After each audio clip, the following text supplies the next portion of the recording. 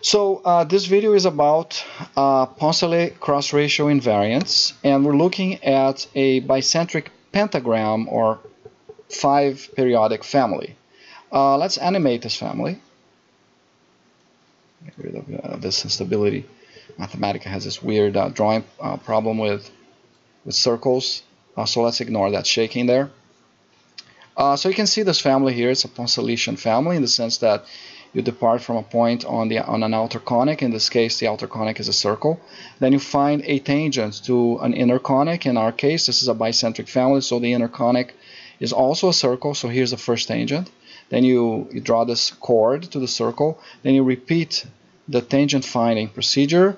You find P4 and then you find P3 and P2 and P1 okay? Now you can see that the vertices are not really ordered here. Their labels are not ordered but in the way that the trajectory is proceeding but this is immaterial. Okay, now we want to define two chords, okay, related to this family. Now we're going to do something special here for the pentagram. These three, actually we want to define three chords. The three chords are going to be sides of the pentagram. So first chord here is connecting P1 to P2. A second chord is connecting P1 to P5. These are segments of the trajectory.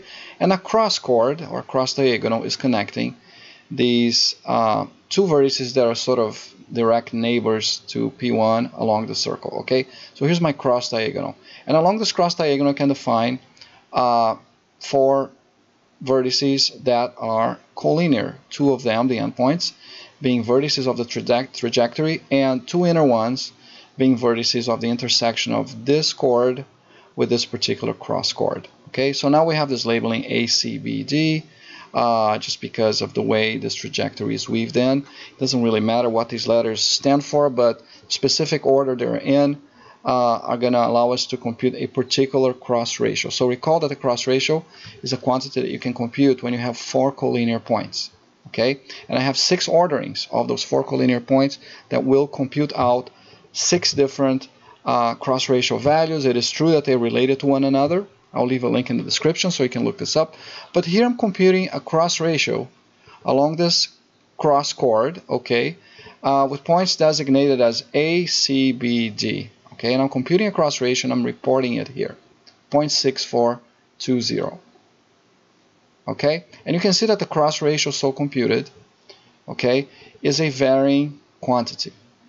Now you're going to notice here that the sum of cross ratios is also a varying quantity. Okay, before I did this video, I know I, I was just uh, showing these quantities with six or seven uh, decimal places, and this sum looked like it was constant, but it is not constant. And the reason I knew it could not be constant is for a reason that I'm going to show you in a couple of minutes. Okay. However, the product of these cross ratios, and what do I mean by sum and product? Let's just review what we defined before. I can define these three diagonals, these uh, diagonals emanating from P1 and the cross diagonal cyclically over all vertices. So for example, I'm now on P1. Let's now make P2 play the role of P1. So let's go over to P2. There it is. So here's P2. So now I have two diagonals leaving P2. Okay.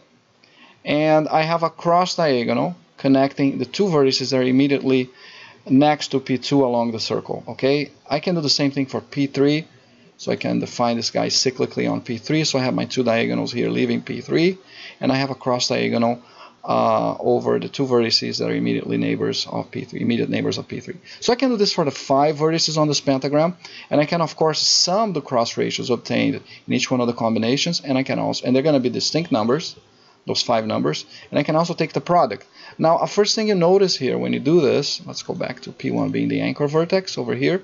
When you do this, you notice that over the family, the sum is not constant, but the product is. Okay? Now let's now order these four collinear points uh, using the second possible ordering that results in a different cross ratio. So I'm going to do second ordering here. Uh, in this case here, it's ADBC. And let's look at what happens when we do this. We got a different value for the cross ratio, but now both sum and product are invariant. Compare with the previous case where only the product was invariant. So for this particular ordering of A, D, B, C along that cross diagonal, I'm getting this phenomenon. You can see here that up to 10 decimal places, the difference of product to sum is exactly 3 integral units. Okay, so not only do we have this phenomenon of invariance, we have this phenomenon of 3 integral units when you deduct the sum from the product. I'm reporting that difference here, and I'm also reporting, just to see if there's anything interesting, the ratio of the product by the sum. Okay, so this number doesn't look like it's a rational number. Okay, all right, now let's choose the third ordering of my uh, four collinear points along that cross diagonal. In this fourth, uh, sorry, in this third ordering, only the product is constant, not the sum. Now let's move over to the fourth ordering, ADCB. Now both are constant, and again, we have the situation where the difference is 3, but now it is the sum that is 3 units above the product. Okay, let's go to the fifth ordering. Um, so now we have the situation where both are invariant, but that difference is no longer a recognizable number, but both are invariant. And let's go to the sixth and final ordering. Again, we have that both are invariant, but that difference is not a recognizable number. Now, I want you guys to uh, now recall, well, before we go to that other example, let's now do a similar example to this. So let's just recap, right? We have six orderings of four points along this uh, cross uh, diagonal here. And out of those six, uh, out of those six, the first one conserves only perimeter, uh, perimeter only product of uh, cross ratios. The second one conserves both, with the difference being three units. The third one conserves again only product. The fourth one conserves both, with the difference now being uh, minus 3 if you deduct the sum from the product. The fifth one conserves both, but the difference is not recognizable. And the sixth one conserves both, the difference is not recognizable. So out of the six possible orderings here, four are maintaining uh, the both product and sum constant, and two of them are only maintaining the product constant. Okay, and out of those four that maintain both constant, two of them uh, prescribe a difference of three integral units between sum and product. Okay, so this is the first battery of results. Now I want you guys to compare this battery of results with when we, instead of taking the pentagram, we're going to be taking a five-gon family. So let's take the five-gon bicentric family, which I have over here and I believe it's going to be this one. Um, actually this one with the diagonals. So here's a five-gon bicentric family. We're going to repeat the same procedure. Here's so now we don't have self-intersections. You have a five-gon family inscribed or interscribed between two circles. It's a bicentric family. And now I can play the same game. Okay, let's uh, start investigating what's happening to these cyclical sums of cross ratios and product cyclical products of cross ratios. So my very first arrangement here, which is actually the exact same arrangement if you think of this diagonal here as being a side of my pentagram, okay? You can think of this as being a side of my pentagram and this as being two other sides of the pentagram. You can complete the pentagram here, right? In your mind's eye, you can complete a pentagram by connecting op opposing vertices here, except that if you did this here, the caustic of this pentagram family would not be a circle. So this would not be a bicentric family, would be an outer circle and an inner ellipse. Okay, and I just want to uh, make a shout out to my, my friend Mark Helman because uh, he can work with uh, uh, Poncelet families that have a circumcircle. So you would have a Poncelet family here with a circumcircle of pentagrams whose caustic is not a circle. Okay, so we can easily construct one from this original bicentric family. All right, so when we look at this um, uh, family of five gons, okay and we have this cross uh, chord and these uh, two other chords we can play the same game. We start with the first uh, labeling A B C D in this case and we notice here just like in the pentagram case the sum is not conserved the product is in this first arrangement. Let's go to the second ordering. Both are conserved and the difference is 3 so the sum is 3 units above the product. Let's go to the third arrangement. Now only the product is conserved. You can see here that there's a little bit of uh, wiggling going on in the sum. Let's go to the fourth arrangement, ACDB. Both are conserved. The difference is 3 to the fifth.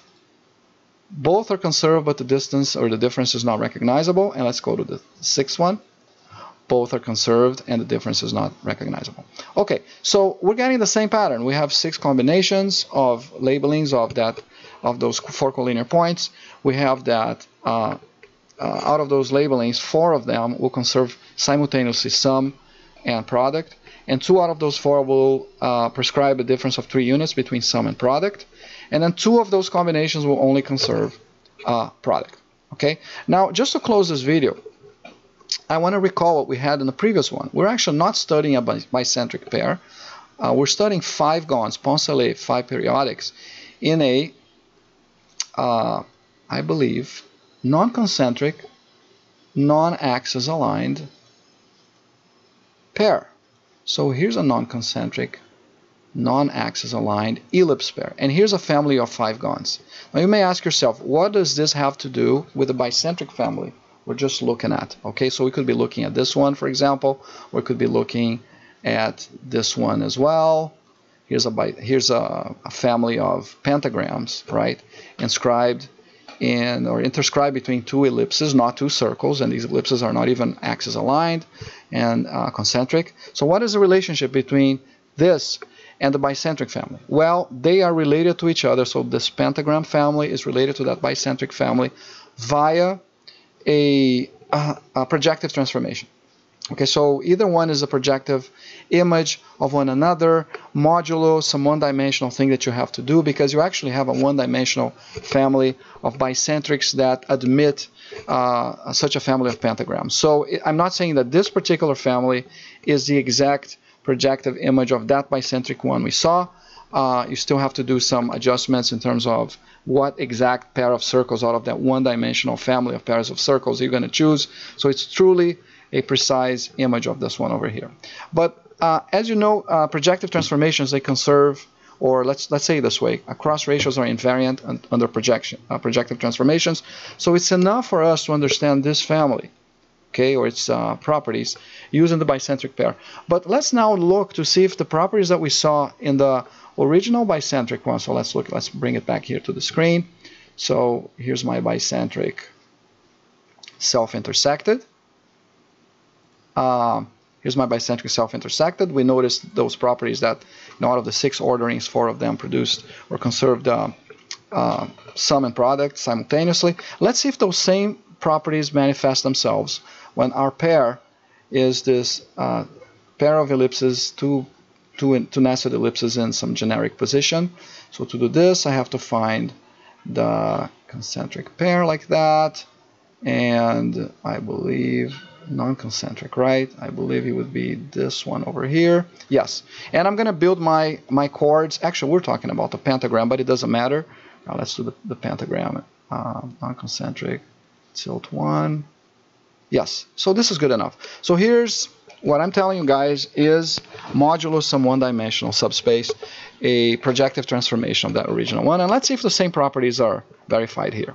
Okay, uh, I'm going to go ahead and make this guy go around. Ooh, this instability of the caustic by courtesy of Mathematica is a bit too big here. But let's ignore that the caustic is shaking around. Okay, let's even turn off its axis. Maybe that's going to improve it a bit. All right. So what am I doing here? I'm uh, considering the first ordering of letters. I'm seeing that the sum is not conserved, but the product is. This matches the behavior in the bicentric pair. Let's go to the second ordering. Both are conserved, and the sum is three units above the product. I believe up to a signal this matches what we got in the bicentric pentagrams. Let's go to the third arrangement. Only product is conserved. I believe this matches what we got in the bicentric arrangement.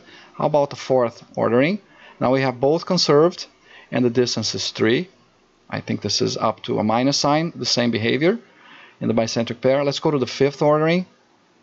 Again, I'm conserving both, but the difference is not recognizable. And let's go to the sixth ordering. I'm conserving both, but the difference is not recognizable. Now, let's let's actually just compare this. You see here that we're getting something like 15.28 and 176. Let's see what we're getting for this ordering, okay, in the bicentric case. So let's go to the bicentric case, um, self-intersected. So 15 and 176. So here's my bicentric case, except that I selected the wrong one. Let's get this one here. Oops. This one over here.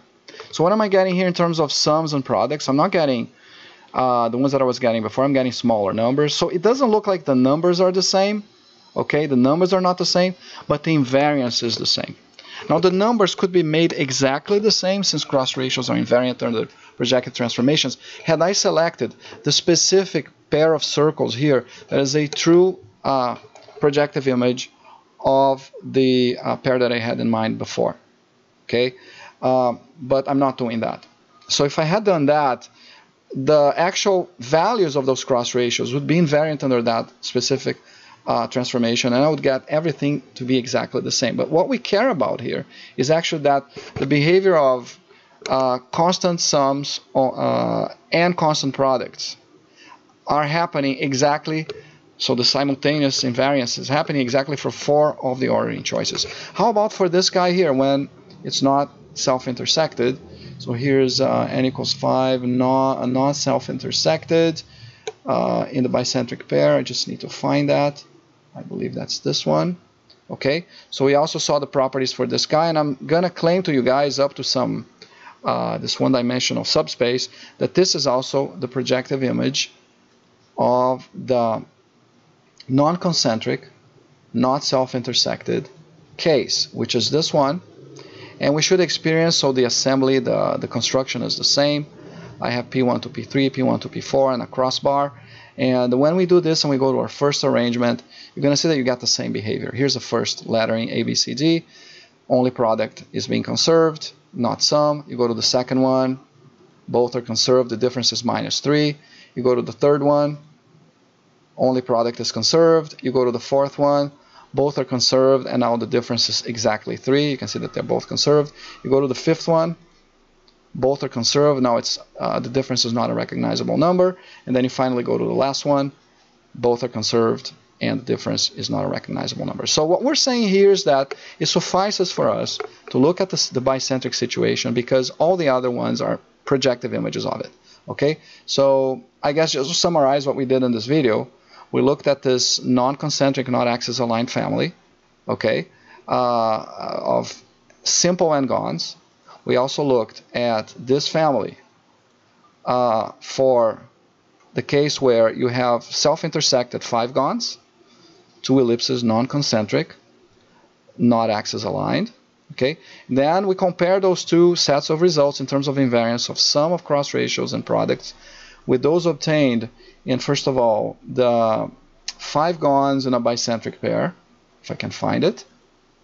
Here's five gons uh, in a bicentric pair, but I want this guy here, with similarly constructed chords, three chords, right? And we made this guy turn around.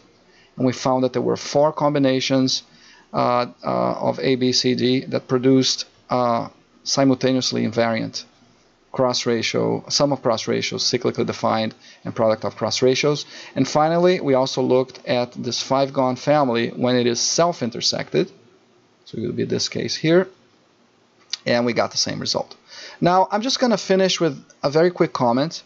In this case here, I don't have to select segments that, uh, as, as my chords, uh, segments of my trajectory. I could select, just as well, these sort of outer diagonals of my uh, self-intersected uh, uh, family.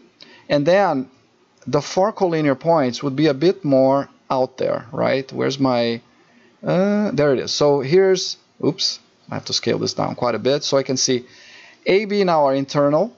And now I have these two intersections of the uh, P1, P3 segment with the AB segment. I got D, and then I have P1, P4 with a, B, and I got C. Now, if I make this guy turn around a little bit, I can make C come closer, and I can scale this up a little bit.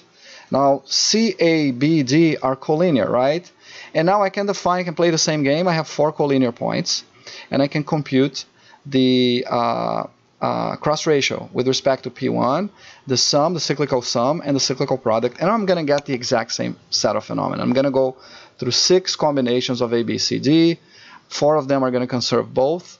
Two of them are only going to conserve uh, and, uh, and, two of them are only going to conserve uh, product. And out of those four that conserve both, two of them are going to produce uh, differences that are exactly equal to 3. So let's just quickly cycle through them. Here's the first one that only conserves uh, product. Here's the second one that's going to conserve both. It's the exact same logic. You're getting a difference of 3. You go to the third one, uh, only conserves product. You go to the fourth combination, conserves both with the difference now having switched signs. Okay, you go to the fifth, and you get uh, the same situation both conserved but the difference is no longer recognizable and the sixth one both conserved the difference is no longer recognizable.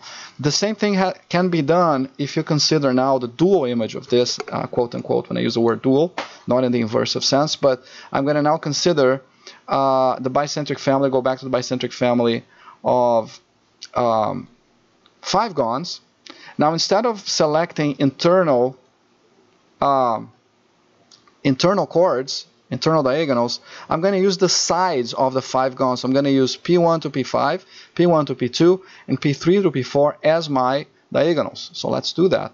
I'm using now P1 to P2, P2 to P5, P1 to P5, and then this third one here, and there's going to be two intersections of this and this with that. So let's look at those where those intersections lie. They're going to be collinear with AB. Oh, one of them is all the way out there. Let's make it come closer to the system so I can show it to you guys a bit better. Maybe it's never going to come very close. Okay, here it is. And the locus of this thing is probably an interesting curve itself, right? Could be an ellipse, I'm not sure. Uh, but yeah, it's probably going to be an ellipse. Uh, so maybe a circle, I don't know. So here are the four collinear points. And now I have a simple 5 gon.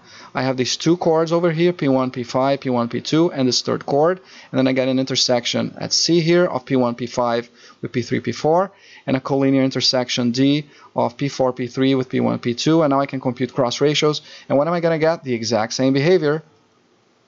Uh, in my very first choice of lettering, I only conserve product. Uh, and the second choice of lettering, uh, of labeling, I conserve both. The difference is 3. On my third choice of labeling, I only conserve product. On the fourth one, conserve both. Difference 3.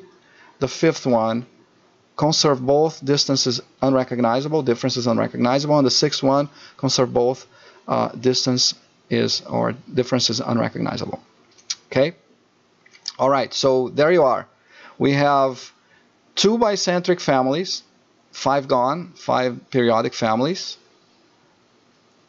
two bicentric families,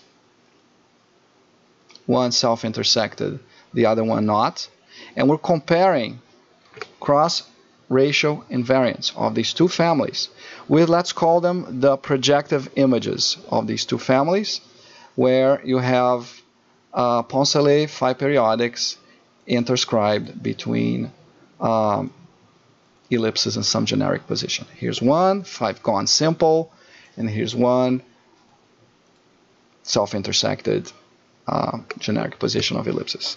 And it looks like these four families with respect to orderings and diagonal choices are displaying the exact same type of phenomena out of the six orderings. All of them, all of these four families uh, are displaying four orderings with simultaneous conservation of product and sum of cross ratios Two of them only conserve product, not the sum.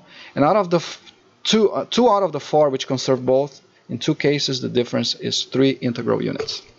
All right, I guess that's a lot of information, but we've established perhaps a nice bridge between this pair here and the bicentric pair.